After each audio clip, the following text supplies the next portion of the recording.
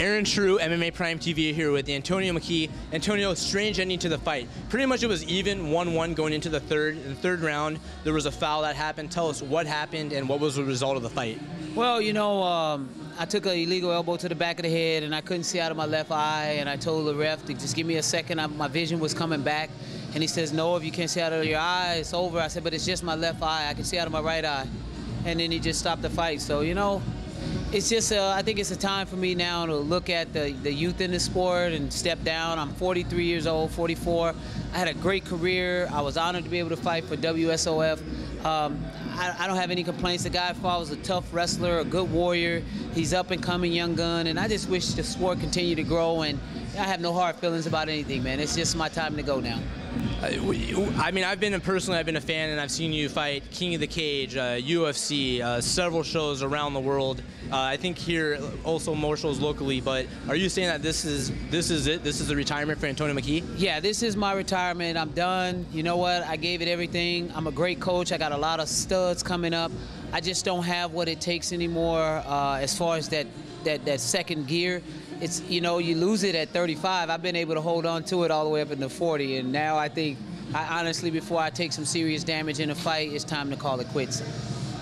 You know, I hate to see you call quits, but we love to see you go out, you know, when you're still healthy and have all your wits about you and you can function, you know, and you're feeling good. So I wanted to take the chance, though, to talk about something else. I live in uh, Seal Beach, next to Long Beach, and I see how active you are in the wrestling programs and the community there. Can you maybe talk to me about what you have going on with either charity, your gym, or just wrestling, what you do with the community? Well, you know, I have a nonprofit Fight for Kids. It's for inner city uh, at-risk youth.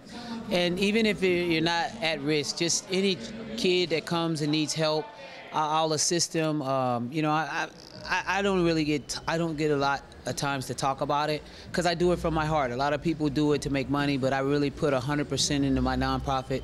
Um, you know, and it's doing a lot of things for a lot of kids, and that's what I'm very happy to be able to do. You know, I came up you know, poverty-stricken, low-income area, gang banging, killing, driving by shootings. That's, you know, same old, same old. And I just said that there needed to be a program, so I put Fight for Kids together, you know, and it seems to be doing really well.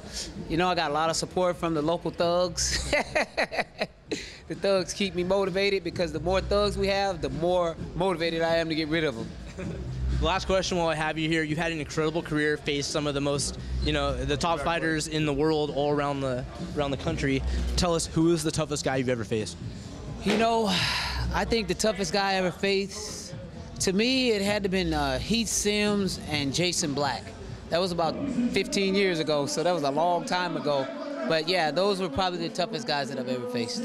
Well, congratulations on an incredible career. You know, wish you were a victorious tonight, but you know, uh, we like to see you go out gracefully into retirement, and uh, wish you the best of luck, Antonio. Thank you very much, and I'll be working on that that uh, fighters union for the fighters.